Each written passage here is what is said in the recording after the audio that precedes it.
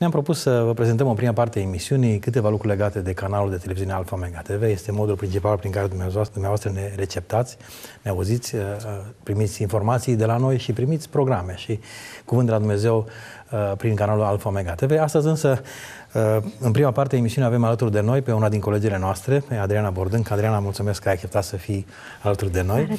E un motiv mai special pentru care am invitat-o pe Adriana să fie cu noi aceste, în aceste câteva minute de mai multă vreme. Ea este cea care este în spatele canalului Alfa Mega TV în zona de programare, de schedulare, cum îi spuneam noi, de aranjarea programelor unul lângă altul, astfel încât grila de program să fie așa cum dumneavoastră o recepționați. Chiar și acest program care noi le registrăm astăzi va fi inclus în grila de program în linia de 24, de ordine 24, de Adriana, puțin mai târziu după finalizarea editării. Cum e o zi a ta de muncă? Cum realizezi tu grila de program? Cum îți alegi programele? În primul rând, eu gândesc grila de program cu două luni înainte alături de dumneavoastră și mulți alți colegi de noștri și în fiecare zi privesc în grila de program și aleg programele din arhivă și le pun când se intre la fiecare oră când trebuie să intre. Ați zis de două, cu două luni de zile înainte pentru că grila de program este inclusă în revista Alfa Mega TV da. Magazin pe care mulți dintre dumneavoastră o primiți.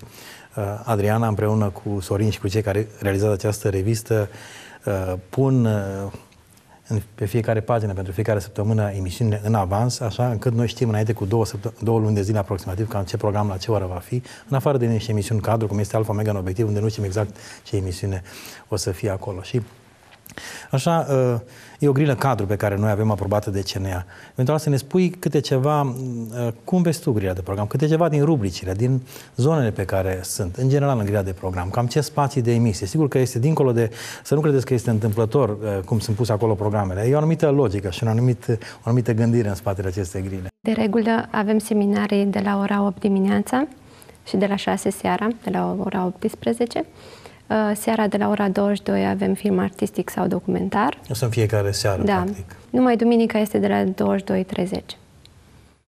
Avem și, avem și două linii pentru copii, poate despre asta poți să ne spui câte ceva? Da, în fiecare zi avem spațiu pentru copii de la ora 9 și cu reluare de la ora 3. Poate pomenim de prima, uh, prima recomandare, să zic așa, pentru că părinții care ne urmăresc și copiii Uh, sunt obișnuiți ca de ani de zile, de la ora 9 și de la ora 3, prima jumătate de oră, să fie alocată uh, emisiunii Cartea Cărților, care a atins și a motivat generații după generații să-L cunoască pe Hristos. Poate ne poți spune puțin despre Cartea Cărților cu noutățile care sunt pe ecran în ultimele săptămâni. În această perioadă reluăm seria nouă Cartea Cărților, uh, sâmbătă și duminica de la ora 9 și cu reluare de la ora 3. Uh, sunt niște episoade extraordinare, vă recomandăm să le vizionați. Până ne mai gândim exact ce să discutăm, să urmărim un spot mai general despre seria Cartea Cărților pe care noi difuzăm varianta nouă pe care noi difuzăm deocamdată sâmbătă și duminica. În restul zilelor de la 9 și reluare de la ora 3 uh, după masă, reluăm episoadele mai vechi.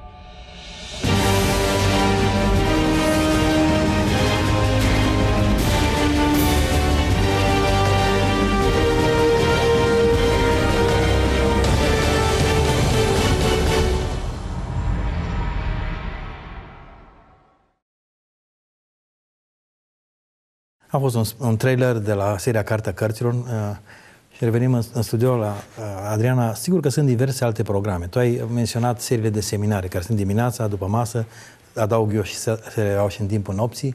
E un punct important al nostru, partea de învățătură biblică. Ai vorbit și despre emisiunile de tip film sau documentar special de la ora 10 seara. Da.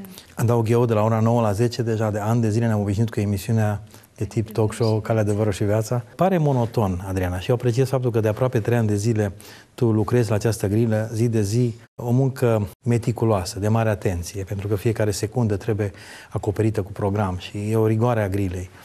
Cum împași tu monotonia acestei munci cu bucuria de a sluji pe Domnul? Da, este un, de multe ori un lucru monoton, dar um, când uh, vezi reacția oamenilor, te încurajezi și mergi mai departe. când vezi că Dumnezeu lucrează prin ceea ce faci și mai ales când îmi dau seama ce documentarii pun sau ce emisiuni, atunci merg înainte prin curaj. Zicea că uneori și ție îți vorbește Domnul prin da. programe pe care le pui. Așa, dăm da. un exemplu sau spunem cum.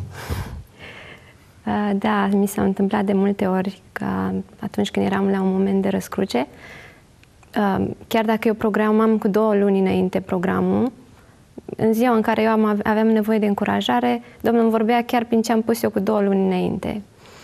Și eram încurajată chiar eu prin munca care o făceam. Adriana, eventual ceva noutăți să ne spui. Sigur că tu gândești grila înainte cu două luni de zile, respectând o grilă cadru pe care noi avem, dar sunt niște noutăți și uh, eventual să ne spui despre, eu o noutate, am zis să, pro, să propui celor care ne urmăresc câte ceva. Da. Poate o recomandare mai specială. Um, având în vedere că se împlinesc 500 de ani de la reforma protestantă, um, am pregătit în această perioadă pe canal uh, mai multe documentare legate de această temă și ca premieră avem o serie de documentare Reforma a schimbat totul duminica de la 10 jumate, 22.30 um, și vă recomandăm să le priviți. Sunt foarte bine realizate. Parte din cultura generală creștină a noastră, da. indiferent de, din ce confesiune facem parte, uh, seria aceasta de documentare e documentată, e, e o informare importantă în spatele acestei serii. Chiar aș propune să inserăm un trailer de la această, uh, această serie cu uh, precizarea că uh, după aceste trei documentare din această primă serie, noi pe parcursul anului să mai reluăm. Pentru că aniversarea aceasta 50, 500 de ani de la reforma lui Martin Luther uh, are un punct uh, final important în octombrie anul acesta, când se vor împlini chiar 500 de ani și noi trebuie să ne gândim și noi la reforme în, în viața noastră, în viața bisericii în care face parte, în viața națiunii române. In 1517, a German priest named Martin Luther challenges the authority of the Pope and in the process starts a revolution. This was a man of conviction who was willing to die for what he believed. Luther risks his life as he questions everything from indulgences to salvation. Here I stand, I can do no other, God help me. He nails his 95 theses to the door in Wittenberg and sparks what we now call the Reformation. Luther essentially said that every individual person must become a pope, must be the definitive interpreter of the, of the Bible. The Catholic Church denounces the reformers as heretics and seeks to snuff out those who threaten the community. The reformers struggle to hold their theological center, even as radical movements like the Anabaptists gain momentum.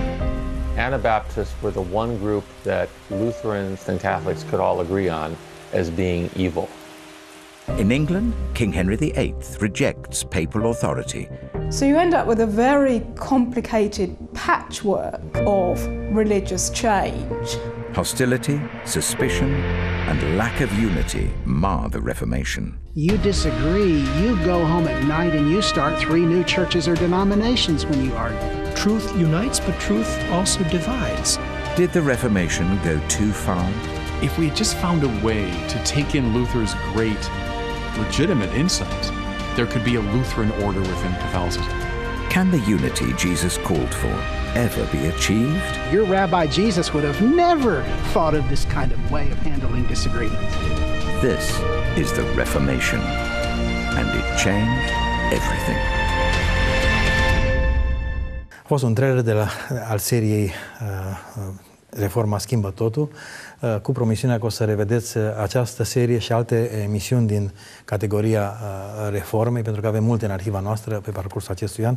Adriana, din, până să discutăm despre reforma mai în amănunt și o să te invit din nou, poate pe partea a doua anului din nou, noi în luna care se apropie martie avem o campanie media avem această campanie media într-o formă sau într-alta, într-o abordare mai accentuată sau mai largă de câțiva ani de zile, o campanie despre viață și valorile vieții și ale familiei și cu siguranță în grila de program care ai pregătit-o pentru luna martie, ai pregătit câte ceva în această serie. Dacă ne poți spune câteva cuvinte.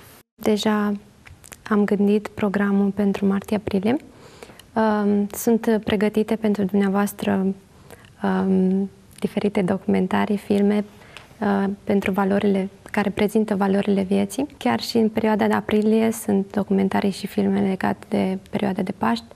Da, dacă tu îți dorești ceva, știu eu, ai o dorință personală legată de canal sau de viața ta personală, ar vrea ca lumea care te-a văzut în aceste minute să se roage pentru tine și să știe că dincolo de cele câteva fețe care apar în, în, pe canalul Alfa Mega TV, sunt și persoane care lucrează și care slujesc ca Domnul să poată folosi canalul Alfa Mega. Ceea ce noi avem nevoie, eu în departamentul meu în mod special, am nevoie de susținere în rugăciune, să pot să fiu călăuzită atunci când gândesc grila cu două luni înainte sau în fiecare zi ce să pun. Am nevoie de călăuzire ca Domnul să poată folosi acest canal în continuare, să le vorbească oamenilor, inclusiv mie. Da, a fost alături de noi în aceste minute Adriana Bordâng, un suflet special pe care Domnul folosește în această vreme ca să slujească, să slujească dumneavoastră prin canalul Alfa Omega TV. Mulțumesc, Adriana. Te